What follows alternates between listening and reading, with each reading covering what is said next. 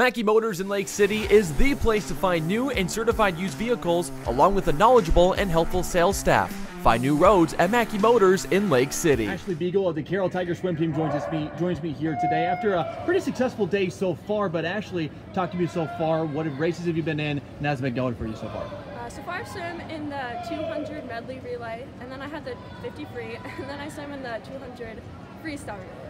There we go. Now, so far on the day, have you felt pretty good about the way you've been swimming, or how do you feel so far about the races you've been in? Um, I feel like I haven't done terrible, but they haven't been my best races. I think my turns have been pretty slow, so I think I can improve there. Sure, and you know, being a senior here this year, it's got to feel pretty special to be here swimming in your senior season. So, talk to me. What do you got coming up here soon? Um, I just have the 100 breast left. Well, hey, it's going to be a pretty short day for you, huh? Mm -hmm. There you go. Well, hey, congratulations so far on the day, and we wish you good luck in that last race. Thank you.